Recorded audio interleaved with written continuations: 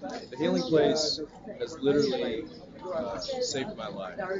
Uh, because it gave me the, the knowledge tools and the spiritual way of life uh, to combat something that I didn't even know that I was afflicted. Oh, Dylan Bryan, they ain't got no shirt from It's, it's given me a new attitude and an outlook uh, that I never could have even conceived possible. Before I learned uh, what I. I, love this place.